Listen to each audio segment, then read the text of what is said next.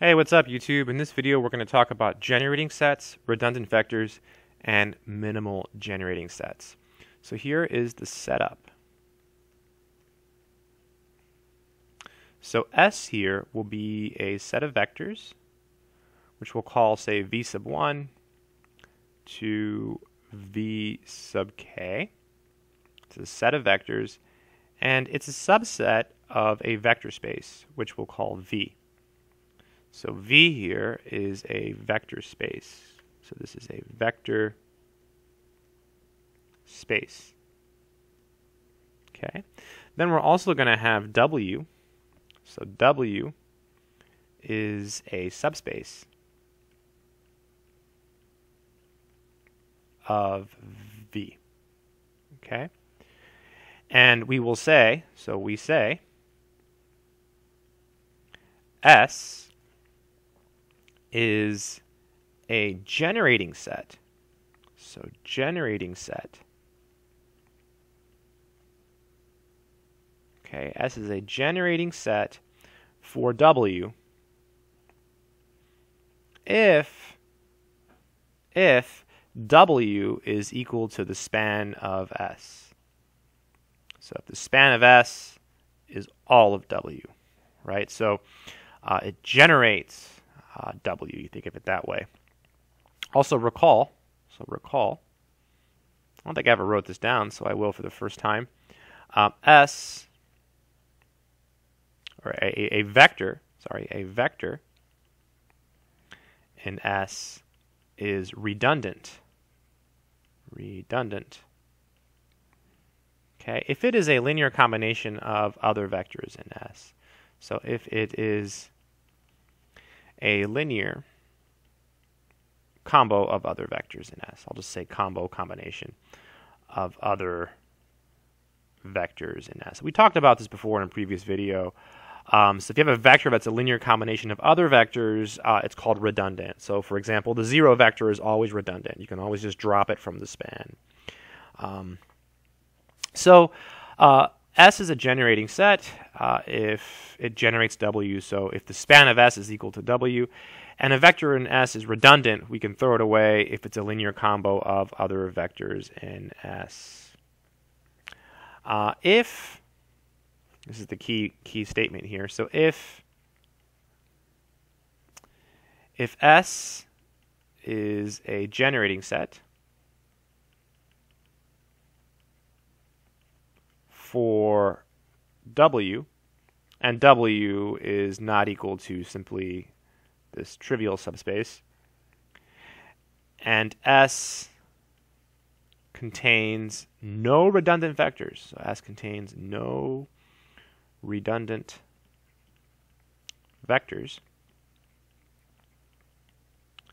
Then S is called a minimal generating set. So then S is called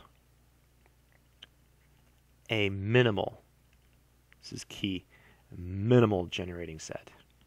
Generating set for W.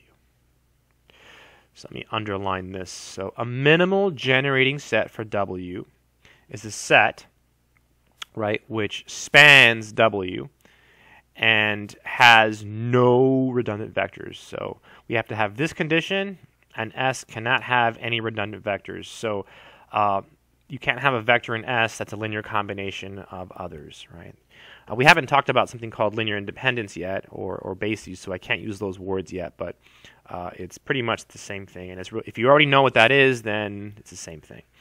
Let's do a simple example uh, of, of how this works. Let's do an example here. Let's see, I have one written down somewhere. Here we go. Haven't done this one yet. Let's look at W. So W is equal to the span of the following three vectors 1, 0, 1, uh, and then 1, 1, 1, 1, 1, 1, and then 2, 1, 2. So 2, 1, 2. So W is equal to the span. And let's find a minimal generating set for W. So what is a minimal generating set? For W. So we already know that this set, uh, this set here, spans W. So you take the span of this set and you get and you get W. We just have to remove redundant vectors from the span, and then we have it, we have our set. So let's go ahead and try to do that. So solution. So we'll start by writing down our span. So our span, it's the set span of the set, uh, 1, 0, 1. Okay, and then uh, 1, 1, 1. And then um, 2, 1, 2 right? Two, one, two. And I, I guess we can clean stuff up here. Um, I, I, think we can. Let's start maybe uh, by multiplying the first vector by negative 1 and adding it to the second vector. Remember, you can multiply vectors by non-zero numbers and you can add them to each other. You're allowed to do that. So we have span. So keeping the first vector, we have 1, 0, 1. Let's clean some stuff up. So we'll multiply the first one by negative 1 and add it to the second. So negative 1 plus 1 is going to be 0. Okay. 0 plus 1 is 1. And then negative 1 plus 1 is 0. So that takes care of that one. And while we're at it, let's go ahead and multiply the first vector by negative 2 and add it to the third vector. So you do negative 2 plus 2, that would give you 0. 0 plus 1 is 1. And then negative 2 plus 2 would give you 0. Oh, how nice. I haven't done this problem until now, so I'm very happy about this. Now we can multiply the second one by negative 1 and add it to the third one. Right, so they're just going to cancel out. So we have 1, 0, 1. And again, multiplying the second vector by negative 1 and adding it to the third one is just going to give us the 0 vector. And the 0 vector is always a redundant vector, so we can drop it. Right, we can drop it from the span. So this will be 1, 0, 1, or drop it from this from this set. And now we have our minimal generating set. So our minimal generating set, I'll call it M, is the set containing the vectors 1, 0, 1 and 0, 1, 0. So minimal generating set is a set which spans a subspace and has no redundant vectors. I hope this video has made some sense. That's it.